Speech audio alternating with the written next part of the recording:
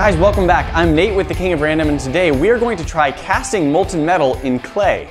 In the past, we have tried casting molten aluminum in a few different things. We've used muffin tins, we've used plaster, and we've tried using sand. We've had mixed results with the sand. Sometimes it would work all right, and sometimes the weight and pressure of the metal would cause the sand to break up. So we wanted to try using something a little more dense and cohesive. Clay holds itself together really well, and we wanted to try three different varieties of it. We're going to try casting metal in wet clay, dry clay, and some of the clay that we fired in a previous video. Before I start pouring molten metal into these, I'm gonna make some predictions about what I think is gonna happen, and you should write down your predictions too. Tell me in the comments how you think this is gonna go. I think our fired clay has the best chance of working well. It's already been fairly heat tempered, and at this point, I don't think too much is gonna happen to it if it gets exposed to hot metal. However, it is by far the least convenient. If you have to fire the clay every time before you pour metal into it, that's quite a big time commitment just to cast something in aluminum. The dried clay has a decent chance of working as well, but since it hasn't been fired, when the metal starts heating the clay up, there's a chance it could crack apart. The wet clay is the one I'm gonna have to be the most careful with. I think when I pour the hot metal in, it's gonna start forming steam inside the clay, which could cause the molten metal to bubble or possibly even splash out, so I'm gonna have to be very careful with it. For the aluminum today, instead of using soda cans like we have in the past, I went to the hardware store and I got some housing conduit. This is several thick strands of aluminum braided together, and once you remove the outer plastic tubes, you have some fairly high grade aluminum that you can quickly melt down.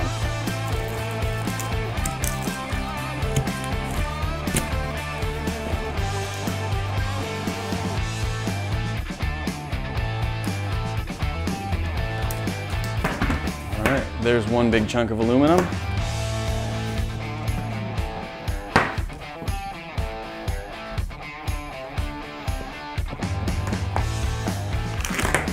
All right, I've taken two of the aluminum cables out of their plastic tubing, and I think this is gonna be plenty of metal for our experiments today.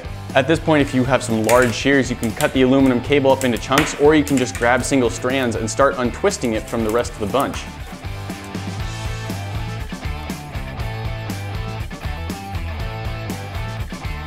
We of course have to make our pieces of aluminum small enough that they can fit into our crucible.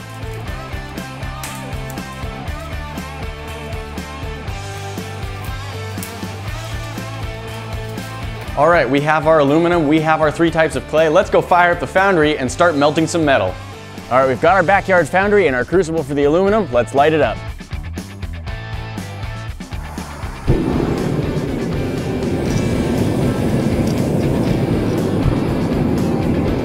Holy heat, Batman. It's toasting my finger right through the glove. Our foundry is going, and at this point the crucible is bright orange, so let's start adding aluminum.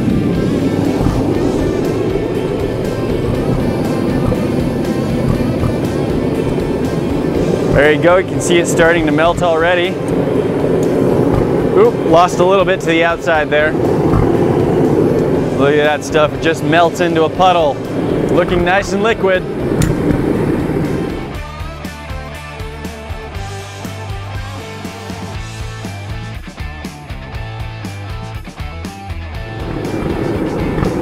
Our aluminum is nice and hot, and first we're gonna try pouring it into the fired clay.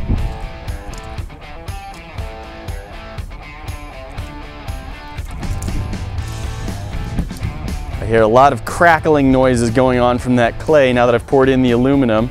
Now there were already a few little cracks in the clay. Looking at it, I think I see a few more. They may have started to expand. The heat from the metal is going to make the clay expand and I'm not exactly sure what's going to happen to it as it does. There is a little bit of water gathering around the bottom. I don't know if that's water that was somehow in the fired clay or if it's water that was in the cement pad beneath it or both.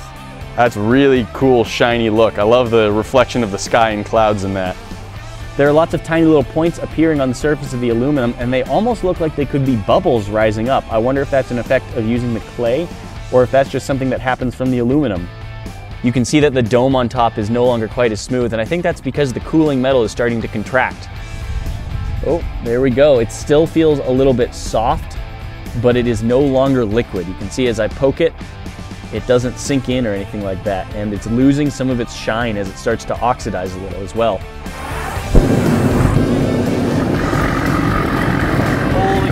melting so fast.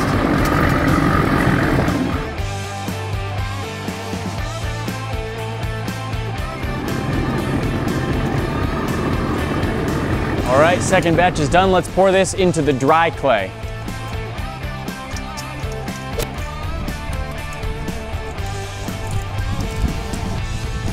Whoa, look at those bubbles.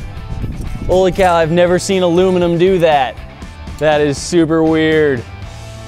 And I don't want to get very close to it because I'm kind of afraid it's going to explode. Look at that, it looks alive.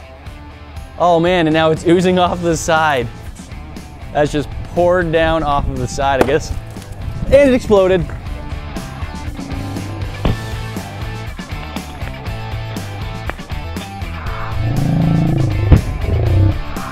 Okay, so that was maybe a little bit too exciting. After boiling for a couple seconds in the unfired clay, uh, the clay exploded and kind of shot molten aluminum into the air. I had already backed off a little bit because I was afraid of that.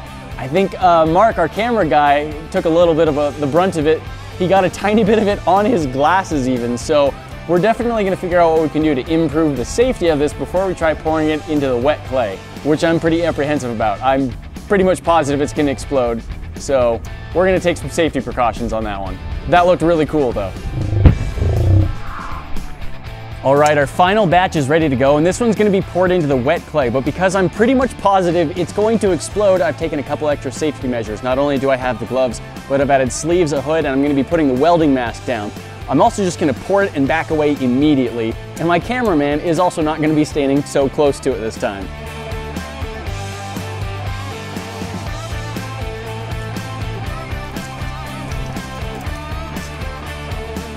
Oh yeah, lots of good bubbling action like last time. I don't think the clay is going to explode, but I would be surprised if the aluminum doesn't do anything. Hey, maybe it's settling down. Ooh, look at that. You can see that the clay is actually drying out where it's touching the aluminum. A lot of cracking. The top of this thing is starting to look like a volcano. Check it out, the clay is still steaming. The, the aluminum is obviously still very hot and I'm not gonna touch it for a while, but it's got a cool effect. I think this might be a bubble in the aluminum, so I'm gonna see if I can poke it, pop it maybe. Ooh, it's collapsing in, so I think I'm right. It's just, oh, there we go. Oh, look at that. The inside like crater of the clay. It's picked up some of the clay in the aluminum. Yeah, you can see that is a bubble. There's a hollow in there. You can look down into it. See if this one will come out. Oh no!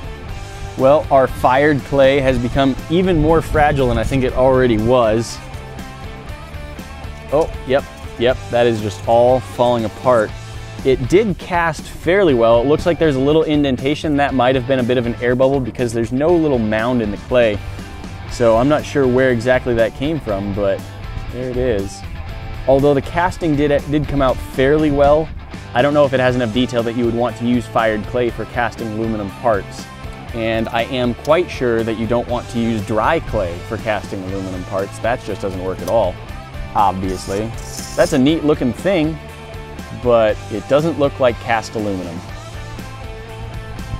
That's still very warm. If I hold this piece still in my hands for too long, it will start to get uncomfortably hot, but as long as I keep it moving, it's really not a problem at this point. Look at that, the aluminum's so hot that it actually dried the clay out all the way through in the middle. The purpose of today's video is to see if we could cast molten aluminum in clay. And we tried three different varieties. We tried normal wet clay, we tried some clay that had dried out but hadn't been fired, and then we also tried a piece of clay that had been fired. What we found was that clay is probably not the best material to cast in. Our fired clay did hold its shape for the most part, but it did crack apart. When we tried taking the aluminum ingot out, it mostly fell to pieces. When we tried pouring our aluminum into the dry clay, it seemed to be working for a second, but then it started boiling, it poured over the edge, and then the whole thing exploded, which was actually really cool looking, but pretty dangerous as our cameraman did get splashed on just a tiny bit. We then tried pouring it into wet clay, which I thought was gonna just explode immediately. I thought there would be violent amounts of steam and molten aluminum would go flying into the air, but I was wrong. It did bubble and boil, which also looked really good, but it didn't really go anywhere. It was pretty safe in the end. The heat from the molten aluminum did start drying out the wet clay, which I thought looked really cool. Almost like a volcano, especially while it was still steaming. That was a really neat effect. But I don't think it's a great tool for casting molten metal in because the final pieces of aluminum had a lot of air bubbles in it and wasn't really the shape of the container it was poured into. Overall, I think that sand works better for casting molten metal than clay does, although there might be another material that we can still use that will get us even better and cleaner results. There you have it, casting molten metal in clay. It's a fun experiment, although it's a little bit dangerous and we didn't get very clean results, so I can't say I really recommend it. Overall, I'm very glad that we did this. I learned something new that I've never even seen anyone try before. And although the result is not what I thought would happen and not something I was hoping for, it was still a good experiment to try. Thank you for joining us for this video, and we look forward to the next one. Talk to you then. Can you see my face? That was a little scary. Dude, you all right? Yeah. You got a little bit on your glasses lens. I know. Holy cow. And on your camera lens. Very front. That's crazy. Hey my friends, thanks for watching and supporting our videos and thanks for welcoming Nate onto the channel. It's his first experience working on camera and he'll soak up any validation you're willing to give. So do your best to make him feel at home and we'll see you in the next video.